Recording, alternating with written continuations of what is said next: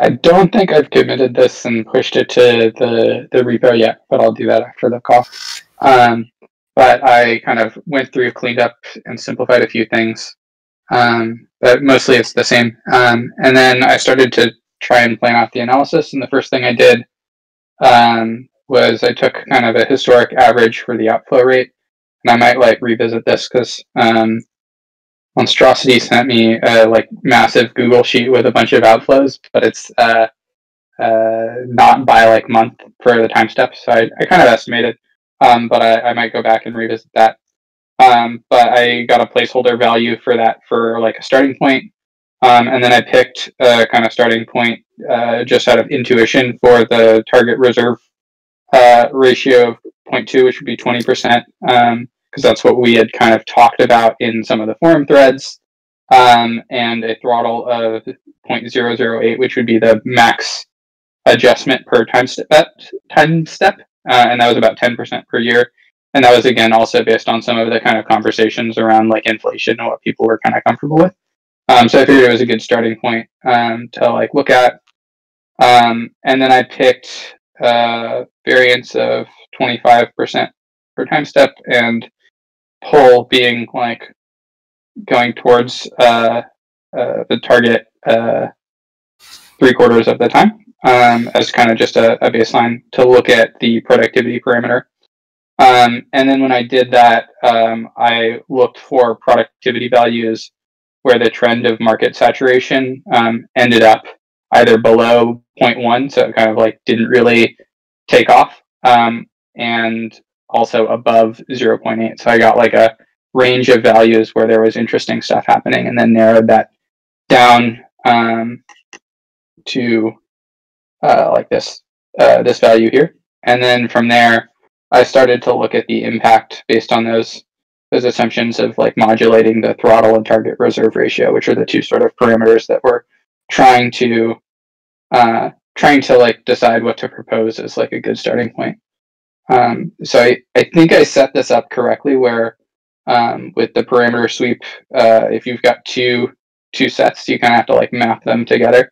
Um, so the uh, we've got three different values for the throttle and three different values for uh, the target reserve ratio.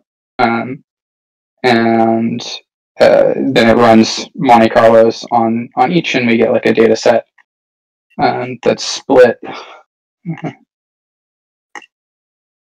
like this. Um,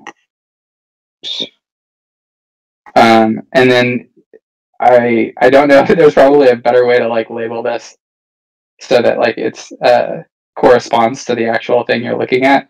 That was one of the like data things that I was like, uh, if I was more handy with this, that would be an obvious thing to do. Um, but uh, uh, as I understand it, subset zero would uh, align with sort of the first set, so that would be uh, 0.002 for the throttle and 0.1 uh, for the target reserve ratio, and so on and so forth. So, like, uh, I hate that this refresh every time. um, but then I uh, then I kind of have them compared, and I could already sort of see that um, with the higher reserve rate and the higher higher values, we start to see more success versus less kind of. Uh, this is cool. Kind of I, success there. I don't know if we have. Uh, I haven't heard from him yet, but um, if we have thoughts from Danilo and on Sean actually also on DataViz, because I think that this is enough to show that there's a really interesting phenomena happening. Because in the top, you see it's pretty flat at the bottom, and then the sort of frequency or the number of trajectories that go to the top value, like, um, is going up as you go down, and yeah. there's there's like it feels like there's a lot here, and it seems like there could be ways to really pull that out. And I'm not exactly sure what those visualizations are, but you know, some discussions about okay, cool, we can kind of start to see the phenomena in here. Like, what are the other ways to um, uh, see this? Because yeah, I mean, like, there's a set of scenarios that define these subsets, and you know, one thing that comes to mind is do these fall in a line or do they fall in a grid? Are there two dimensions varied in the subsets, mm-hmm. three, because I can also see how like number five looks more like number two and number and zero, than it looks like say six. And so you know, in some sense, labeling the subsets by what they have in common and orienting them on a grid might even help uh, tease out the relations. Yep, I w- that's uh, from a data viz perspective. These charts are awesome. They're like clearly showing some results, and the, to make an improvement, like the first thing I would do is nothing fancy except exactly what Zargham said is like labeling the axes. it, it, would would make a big because I'm looking at this and I'm like, okay, cool. I'm seeing the patterns, but then at the same time, I'm not exactly sure what I'm looking at because I don't know what value and subset and uh, I, I, you know I'm I'm uh, forgetting what these axes are representing. Yeah, was... I agree. Uh, by the way, uh, what's the code that generates that visualization? Um, so this is uh, Plotly Express. Uh, I pulled this from the CAD course in terms of like learning how to use it, so I'm not uh, super familiar with all of the other options. Um, I I spent time this week kind of looking at Seaborn and as also the like plotting library that I think Sean you had mentioned. Um, and I haven't like picked one to like try out. Um, this one seemed really easy in comparison, um, and it was in the other one for examples, so I started there. But I found it really frustrating because uh, I think it's a relatively heavy library. So as you go through the uh, thing, it like you have to kind of rerun them, um, and it's kind of annoying. Um, but uh, yeah, I, I don't know if the labeling is something I can do here or if it's something that I can do in like the pandas data frame. So like I was thinking maybe what I needed to do is like concatenate the uh, the combination of the two parameters. Um, so like uh, the 0.1 yeah, comma 0.2 and use that as like labels. Hmm? Ah, yeah, I would say that maybe this is the quickest hack. Okay. Is that a hack or is that the way to do it? I guess is the question. Uh, is that just like a quick, uh, quick fix, or is that like normally would you leave the uh, data frame and, and try and use the charting library to add labels? Uh, it depends on the scale, really. Uh, but one that can happen is that sometimes you are sweeping five parameters at once or 10 different parameters. And uh, when that happens, you need to adopt a more structured approach for uh, querying things. Yeah, because I did want to be able to sweep um, not just those parameters, but like the the next uh, kind of analysis step on here. I wanted to look at um, also sweeping the uh, um, the variant, the like pricing dynamic parameters and the productivity parameters. Um, this one actually, I don't think we're using. Um, I tried to remove stuff that was just like adding like little tiny things. See if that runs um, to keep it simpler. Um, but I wanted to to sweep through those uh, those other parameters as well.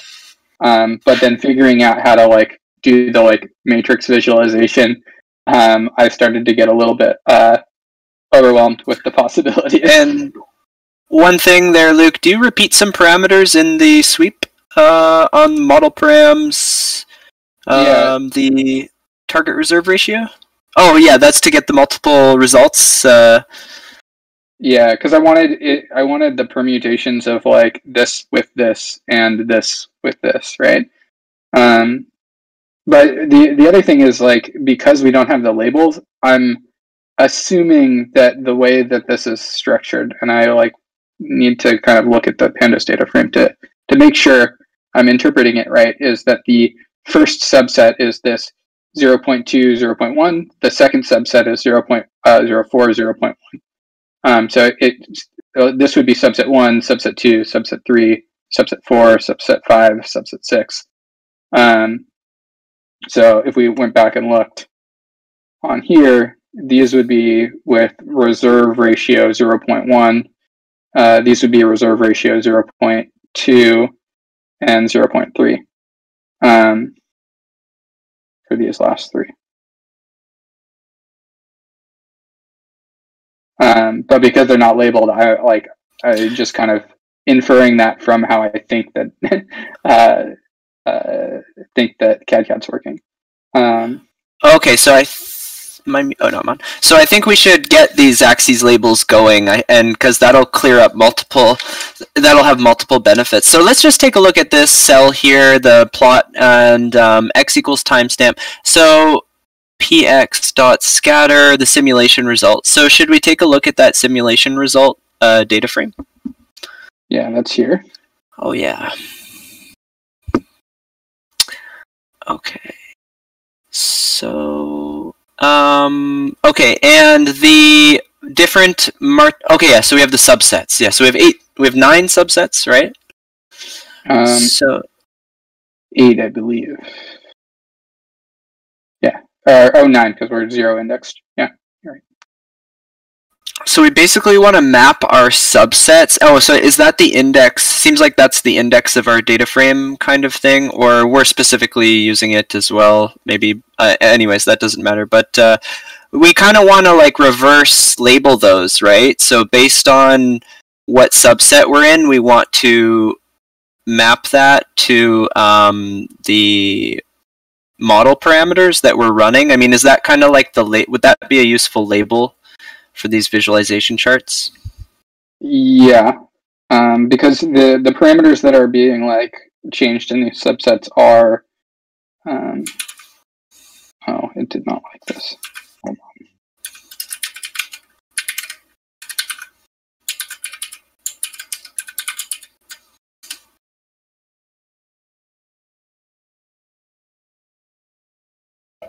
I'm searching here, but I do have a code snippet that maps the parameters to the pandas data frame. Sorry, But couldn't quite hear you. Oh, uh, I was just telling that I have a line of code here that does the mapping of the parameters to the, sim- to the results data frame. But I'm searching the code here. Oh, you've got a snippet.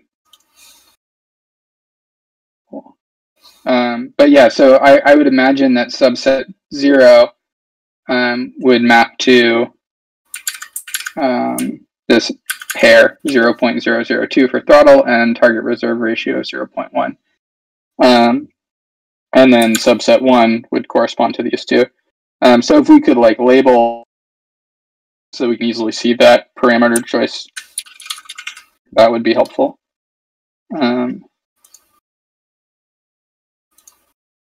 but Yeah, I'm looking. I I'm looking for. I have a similar snippet. I think that Danilo mentioned.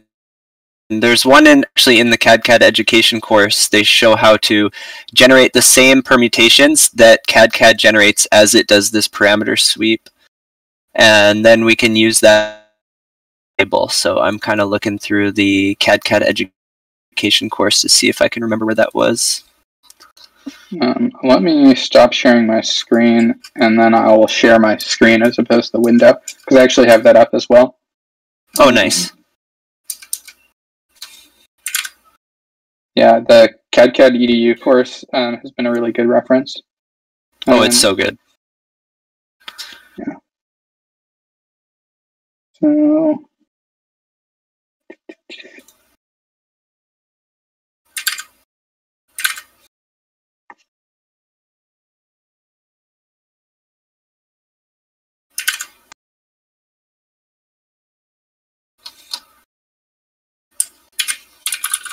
so attribute parameters to each row. Is it this?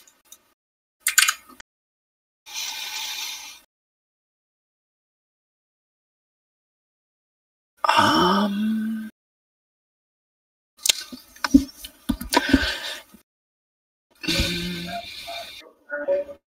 mm-hmm. Hello. Oh, yeah, you start sleeping. What's going on? Hey Luigi, this is the Luna like working session call. Um, we're trying to Oh. figure out how to manipulate pandas data frames uh, so that like the um, the simulation subset thing corresponds to the different parameter choices that we used. Because otherwise, we're just looking at numbers and then trying to map it back to Oh, This Uh, is the only like supply matrix. one. Okay. Yeah. Are you just showcasing, or are you actually? No, we're we're trying to work on so um, the the model's kind of here, but uh, in order to like use it, we want to do some like uh, experimental analysis and then visualize that so we can kind of uh, understand what's happening with the different parameter choices. And so this is, is sort of a data visualization problem right now. Um,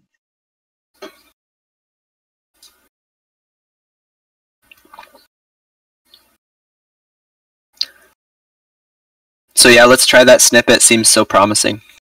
Oh yeah. Um, yeah. See. Yeah. Too many VS Code windows up right now. um, df sign.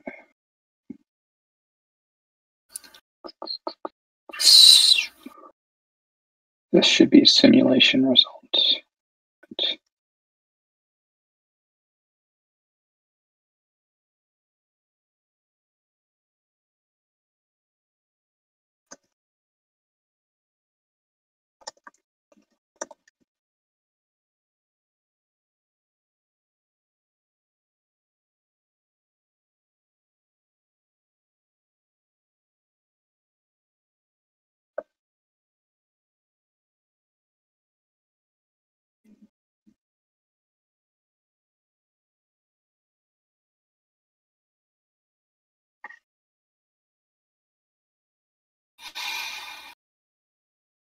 Think that's what I wanted.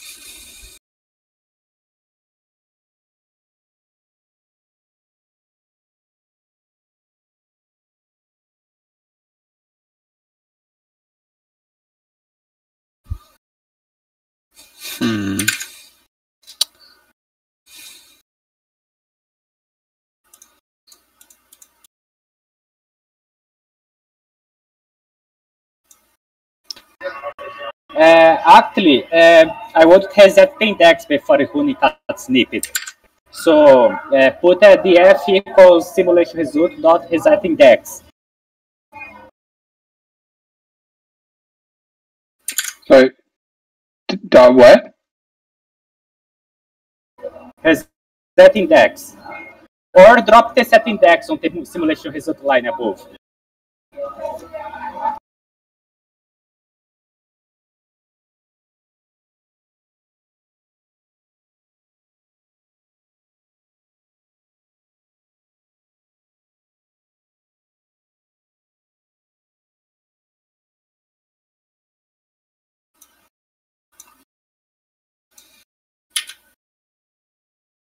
Mm, Uh, print df dot columns.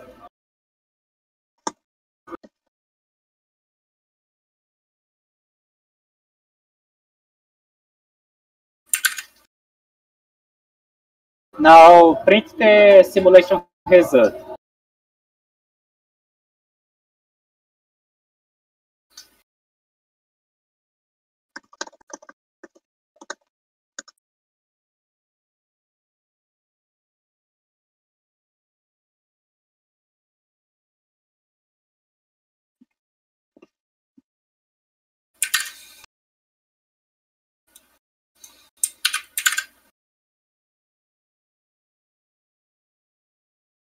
Uh, what was the do snippet again? Because I think there is a block there. There is, I think there are three blocks actually.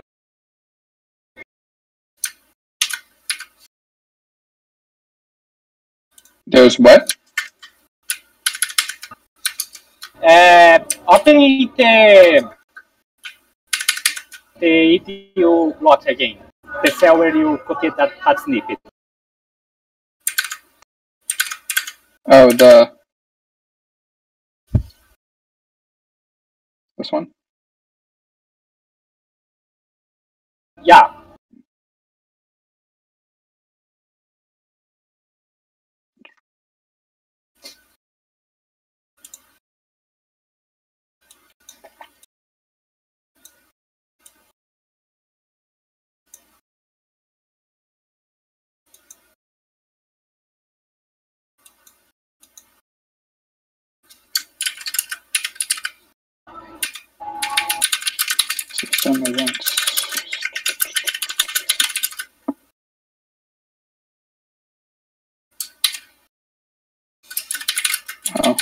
Is stuff related to.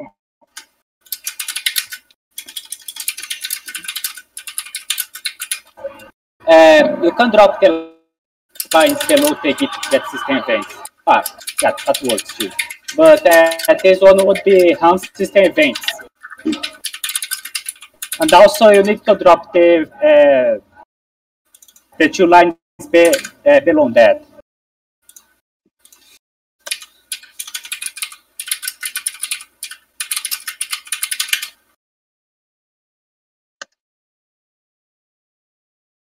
And this data frame must come from the ham system event.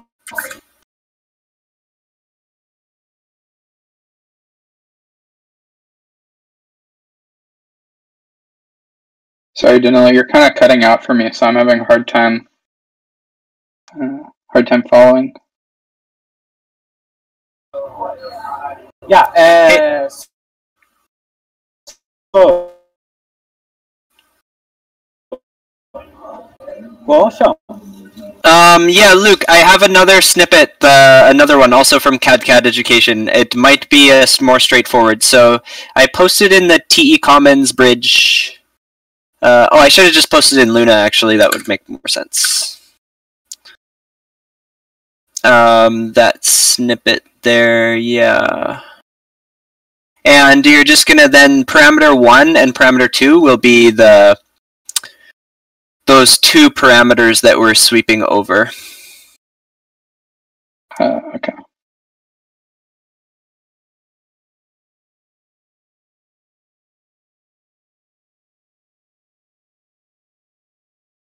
But uh, this, and I was confused by this earlier because um, I would think that the number of simulations that would be ran would be the mul- like the multiple of the lengths of these two lists, but it's only nine. So, um, I mean, it's Yeah. just the length of the list because it's pairing them, right?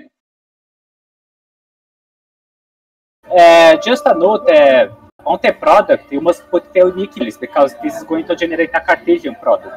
So you must have 0.1, 0.2, and 0.3 on 2. Okay. Uh, I think I. Oh wait. Uh, Sorry. Yeah. Go ahead, Danilo. Um. Or you can go ahead and run that and see what it, it puts out. But yeah, it's going to be the Cartesian product, which is not exactly.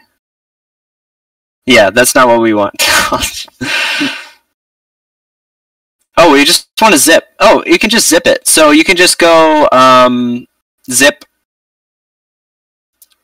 like Z- zip um parameter one, parameter two.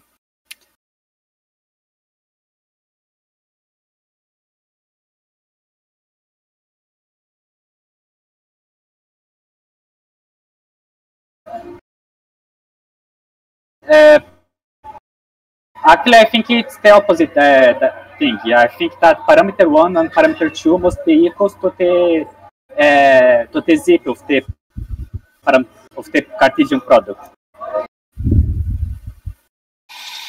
Um, okay, so first of all, just wrap the zip in a list. So go list zip and then that stuff, and and you'll get uh, what that's doing first of all. Um,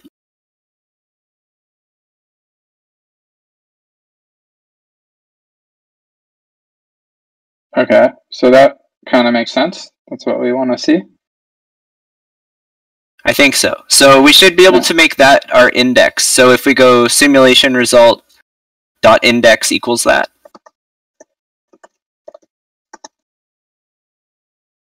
Uh, dot index or set index? Uh, either way, I think.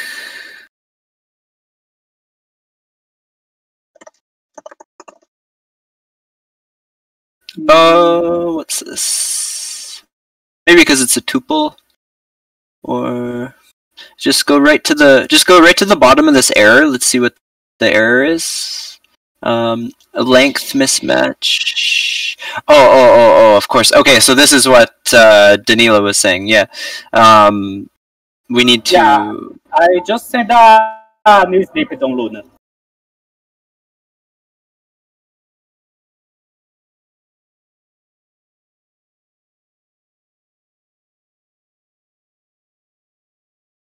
Cool.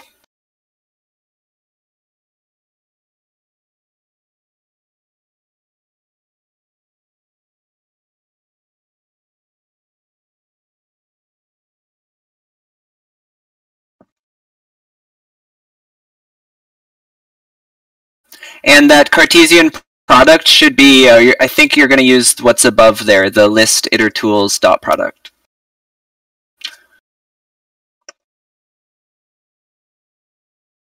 Um, the parameter sweep. Because if you run this, you're going to get product is not defined. You got to do the itertools dot product. And uh, I'm not sure if you have to cast it to a list or not. oh, um, okay. So you're saying just do Yeah.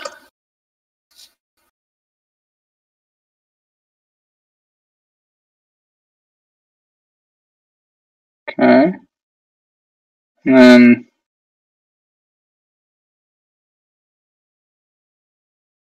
do I set this as the index then?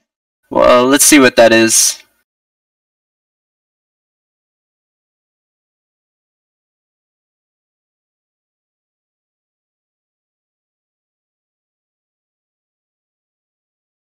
Um, how do I print this? This is just a tuple, right? Well, it's assigning two two values actually. Um, but you can print it as a tuple. I feel like this isn't quite the right exact answer because we're assigning we're creating two values here. But let's just do that and um, oh yeah. So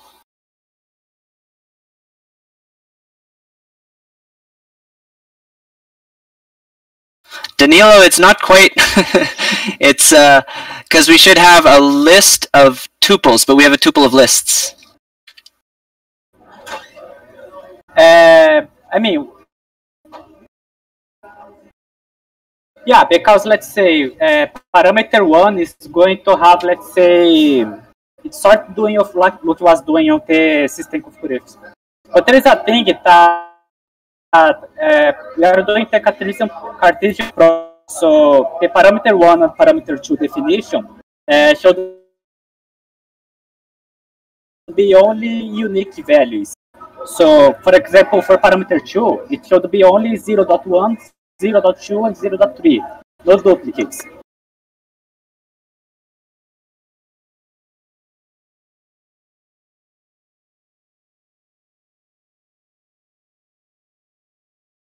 The product you must import from itertools, uh, itercal itertools.product or from itertools import product.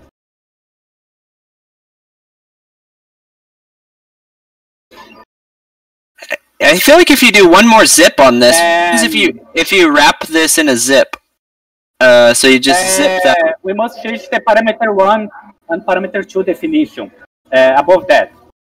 Yeah, okay, that'll work. Yeah, Change this. maybe just duplicate them because it's gonna be a smaller. They're just gonna have three values each, just the unique values. Or you could Yeah, just change those right. brackets. You could change those brackets to curly braces. They'll auto eliminate the duplicates by, by being a set.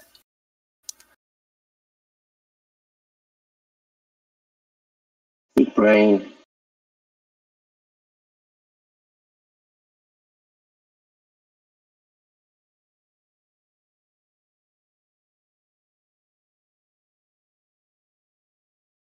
Still not following how this matches to the index, though. Anyways, I think you zip this last thing, it's gonna be what it's will give us. Uh, if you just put a zip uh, right there, yep. Try that. Uh, list uh, list zip.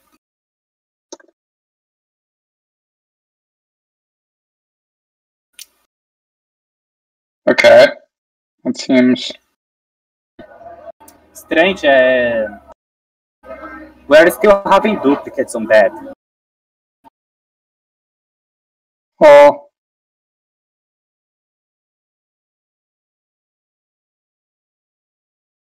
Hmm.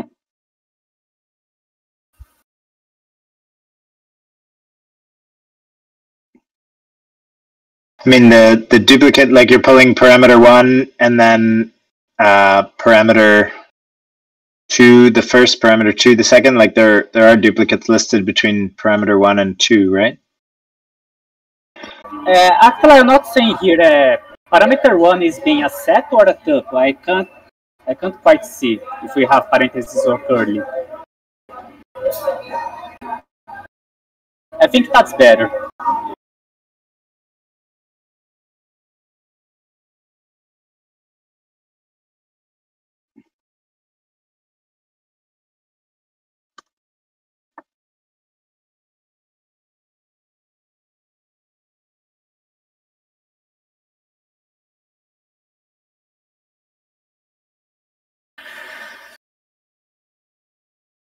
Okay, so these are all the parameter combinations. Uh, there's so we could just multiply each of these elements by the length of a single because each of each what we see here is representing a simulation, right? These are each of the simulations that are going to be ran, Yeah. and uh, So it it seems like this is not the right order, if I understand correctly. Because wouldn't simulation or subset one be this pair, and then subset two be 0.4, 0.1? In this, we're doing 0.2 three times. mm, It's like inverted. Um, so maybe I do. Uh, yeah, the trick would be to invert the order on the Cartesian product. Instead of being product parameter 1 and 2, we would pass the product of 2 and 1.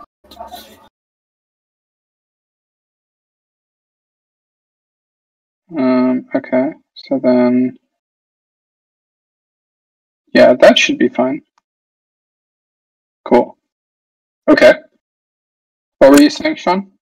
well, and then to get a full index that matches our data frame, because in Python, if you like take a list and multiply it by seven, then you get uh, that list seven times in a row. Like it'll be seven times the length. So if you basically do a list comprehension and you multiply each of these elements by the uh, is it n or m? I forget, but it's the length of a simulation. Uh, then I imagine we would have an index that matches our data frame. So you could go. Uh, does this make sense, Danilo?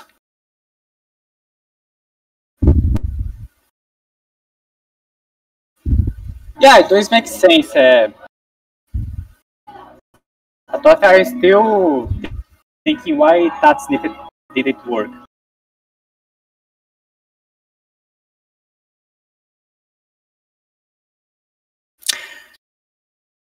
Yeah. So, um, Luke, uh, do you have? I think I forget if it's n or an m, but it's like the number of steps in a simulation. Um, so we've got in the config. Uh, Yeah, t. Uh, maybe. I guess it's T, t is is the time steps. yes. So if you can, uh, I mean, just use 120, just hard, kind of hardcore 120. So if you do this list comprehension of what we have there, so if you sign what we got, list zip, assign that to um, like p for parameters, uh, and then if you go uh, brackets and go uh, like something like a times 120 for a in p. Uh, now maybe we should name these better, but uh, now um, then we want to. F- then we want to. That's going to give us a list of lists, so we want to flatten that list. Sorry, this is becoming so complex. This is kind of uh, showcasing the. experience for me. I like. Okay, uh, good. Yeah, I, I this is part of the the stuff that I think uh, in the working with all the cadCAD stuff that's going to be difficult for me uh, is like learning all of these other tools and like manipulations that you can do with the like really vast library of Python stuff. I think it's important to recognize that the decision to build uh, CAD the way that we did with Python was because some of this stuff never goes away, but you get it for free if you have experience as a data scientist. And by for free, I don't mean you know the answer off the shelf, but more that like the fact that Danilo and Sean and myself and Marcus and many of the people who use these tools have other experience in Python data science. It just makes it so that you don't not everyone has to learn this stuff, but everyone has to learn it at some point. They just some people have already learned it. Mhm. Is that I mean, obviously there's also room to make it easier and I'm not saying we're we are trying to do that, but I kind of I'm like participating and kind of watching as we go through and like thinking about my own experiences and my like life as a data scientist and the, the inevitable pain of just like, oh right, data munging. Cause like data munging. Cause always Yep. it's a it's a like widely known just like Ever, that that like 80 to 90 percent of data science is actually just data munging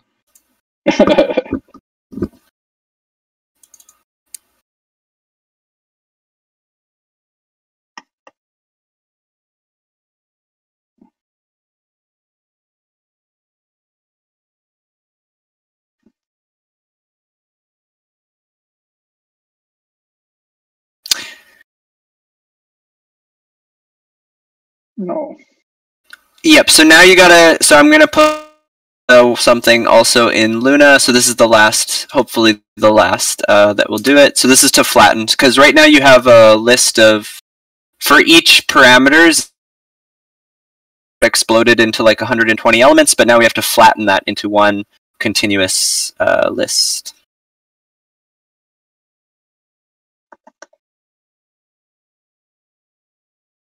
So just copy that verbatim and change.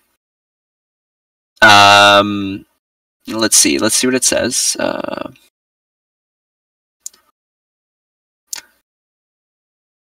change T to uh, P. Yep.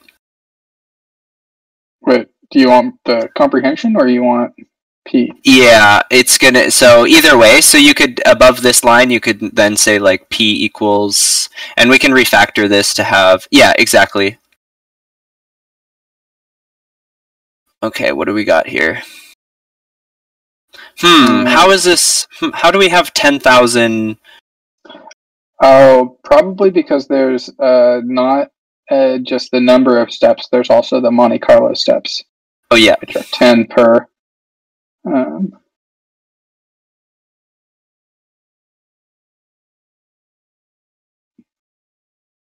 didn't like that either. Hmm.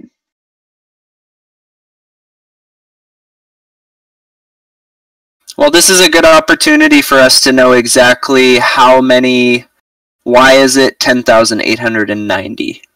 Um, you would think it would be one twenty times ten times Times the nine. yeah times the list. yeah Yeah. Okay. That's what it wanted, right? yeah. Well, not quite. There's another 90 Oh. elements, but I wonder what that 90 elements is from. Yeah, I think each each simulation has an initial step, so that adds ninety. Okay. So if you change one twenty to one twenty one,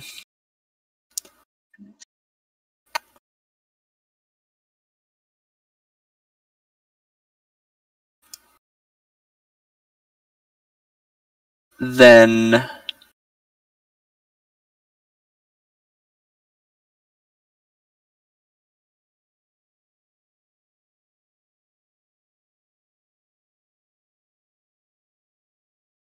How come I still wait too many elements now?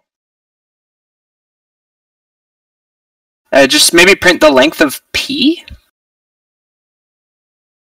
So we think it should be nine, right? Oh no, it's going to be way more than nine because uh,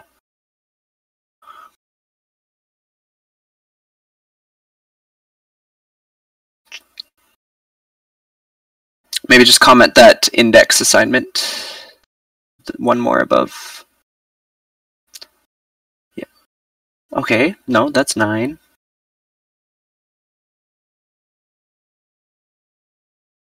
Um. Yeah, we've made a mistake in our logic here.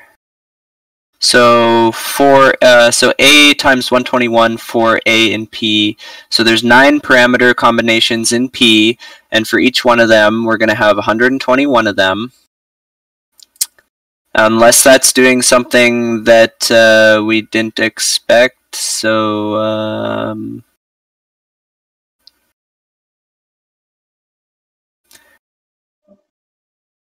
Uh, that's strange. I think it's our flat. Maybe it's our flat list. Yeah. First of all, T. Why is that nine? So let's just print out T. Ah, hey guys. Uh, Yep. I just did a hack and I've tested on the notebook and it's working. Um, so on the Luna, Okay, so the, our flat list function flattened everything, and it flattened our tuples that we didn't. Indexes on for the program. Go go ahead, Danilo. Uh, just using that in place of the did you snippet that we were using before. Uh, okay. Just going to comment everything.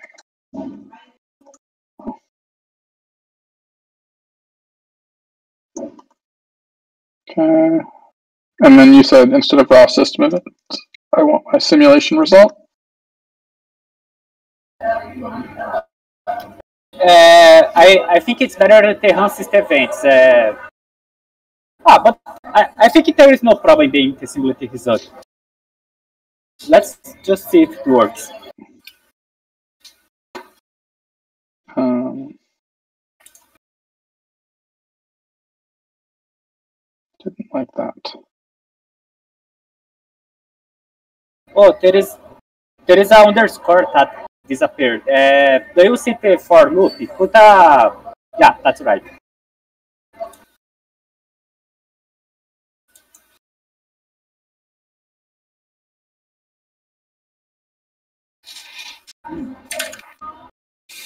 Um, what what was that error? So it's saying configuration option has no attribute sim config. Uh, try to go to ah okay. Uh, the underscore is missing, so put underscore between sim and config.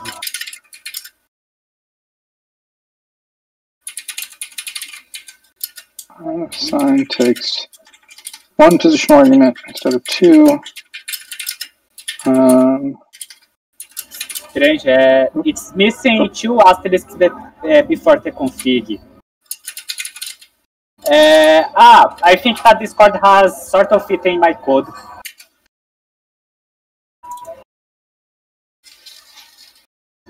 Yeah, uh, the Discord has used some of the Python things as format. uh, if you do, um, if you do the like little uh, code code wrapper box, it should leave it alone. You want to repaste it. Triple back tip. Yeah. Tick. Okay.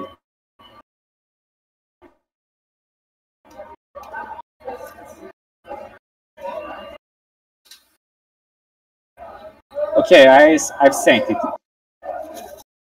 Let's try this again. Okay, I like that. Okay, here we go. Okay. So now we've got a full index for all of the parameters. That's cool. oh yeah.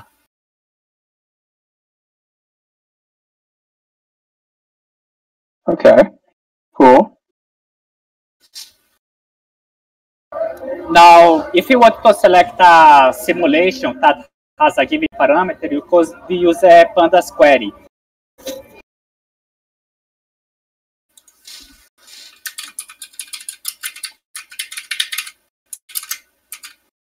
Well, can I do that directly in the plot? Or do I have to reshape the data frame? Ah, yeah, you could use that on the plot. So facet how, for example, you could put the parameter name. Okay. Um, let's do um, total. See what happens. Uh, the only thing is that uh, we need to act on the DF instead of the simulation result. Hmm.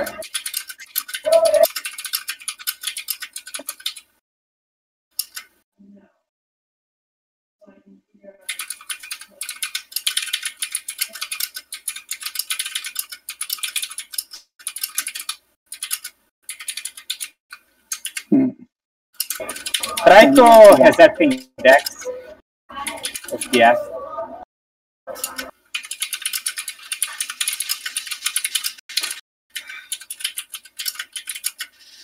Try using what is index? Reset the index of DF. Def. Put def dot is reset index.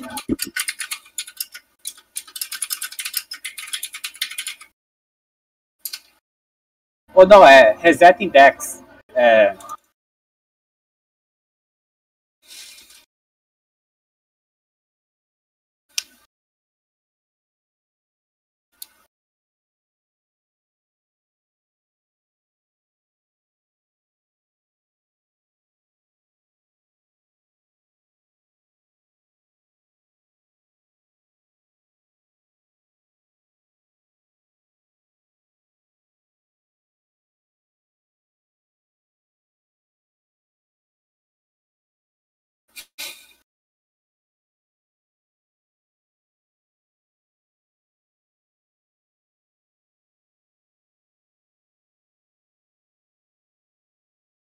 I think we're coming up on the top of the hour. I'm not sure if we're going to figure this out. Um, I have a hard stop this time.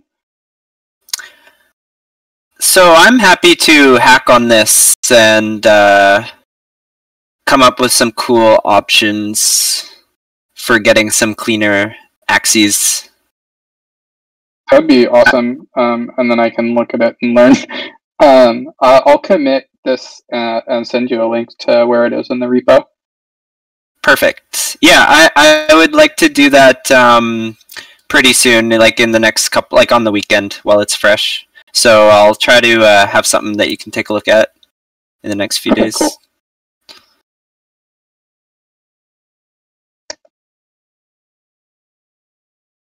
Um,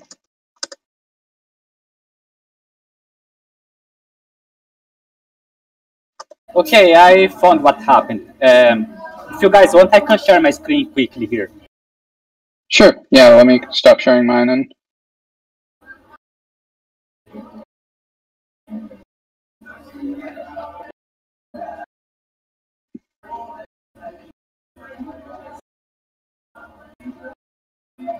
So, are you guys seeing?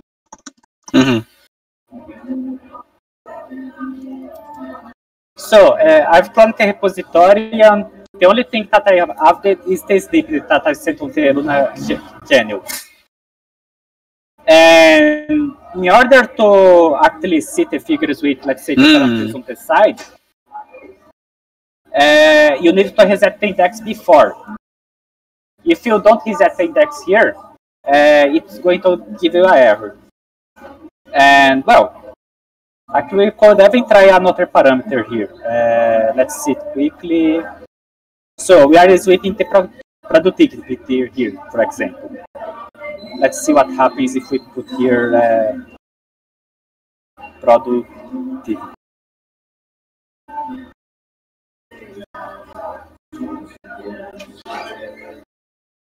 So yeah, we have we have thing here.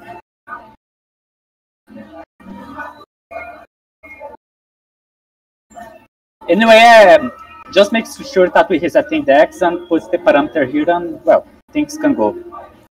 I think that's it. Excellent, Danilo. And can you push that one as well? So, what's the org that we're doing? A branch or a separate folder, perhaps, uh, for different people? Um, Yeah, so I created a Luna Swarm repo in the the 1Hive GitHub, um, and right now there's just like one folder that has this in it. Um, but we can create multiple folders. Like it's fair game. it would be great to have more stuff in there. Excellent. Yeah, Danilo, if you can push that, that would be awesome. Ah, ok, I'll push to a branch.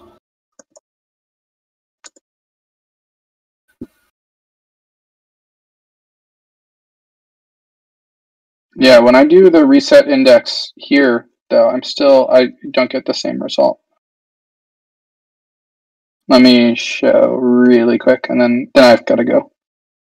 Um, but I just would love to have this working before I commit it. Um, so you were saying do uh, reset index here, and then have the facet row um, be my parameter, but I think we just see your terminal, Luke. Oh no. Okay. Um. Share screen. Um. Oh, all my terminals in VS Code windows look the same. They're all honey colored. Um, okay. Yeah. So, are you seeing it now? yep. Okay, yeah. So still getting this length of argument y three lengths of previously processed arguments times diff.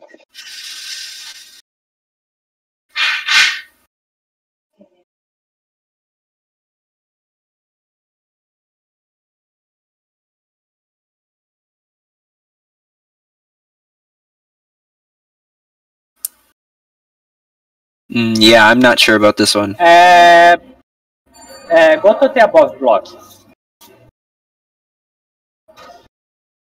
Go to which block? Try to. Do you see TDF equals PD data frame? Try to try to put simu, uh, simulation result instead of on system events.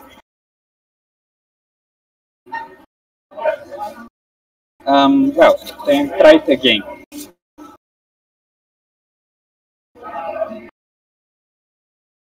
Oh, there we go. Hooray! Awesome. Cool. Um, then in that case, uh, I will push this and send you a link, Sean. Um, Excellent. Yeah. Cool. Thanks, everybody. Good work Um, on that one. Yeah. Thanks, everyone. Oh, I just had a thought. Uh, I think that Seaborn has a argument for facet row, but also for facet column. So we could even have that matrix. But anyway, we can do see the next session that. Cool. Um, I'm gonna run too, but a note for next session. I was talking to Sean, but I also talked to Andrew Clark from Block Science. So one thing we want to do in the next session is spend a, a chunk of working time on the data from 1Hive's conviction voting relative to uh, the existing conviction voting models. It's something we had talked about in the past, but just like hadn't gotten much attention. Um, I think especially I don't know. I mean, Luke, I know you're running off, but if you ping Sam, he might also uh, want to join because we want to have some probably some hack time on connecting the data source, presumably queries against the graph, to the model that exists. Since there's another thing, um, honestly, like we should do since we have the materials. Yeah, that'd be really cool. Um, maybe what we should do is create like an agenda um, for next week, kind of ahead of time, um, and then we can ping the relevant people um, so they Andrew can that specific window of calendar. Yeah, so I'm gonna punt to Jeff the agenda thing, but um, I know I already confirmed with Andrew Clark that he's gonna join us next week. Awesome. Uh, Yeah. Sorry, was there a specific question about agenda? Oh, I I was just saying that like for for most of these calls we've been pretty ad hoc, but in this case, if we've got a specific thing planned ahead of time, um, and we are trying to like get specific people that would be interested in that thing, um, maybe we can like prepare an agenda ahead of time and just share it in the Luna uh, thing, and we can link people to that, or I don't know, some, something like that. Um, Absolutely. but just so we we kind of know. Yep, sounds good. Cool. Go ahead, John. All right, I got to run, guys. Um, thanks so much. This was awesome. I appreciate the, uh, the time. Yeah, this was fun. Thanks, Luke. Cool. Loving to see it come together. Um, soon, yeah. Jeff, I, I- Yeah. I was just gonna say uh, that I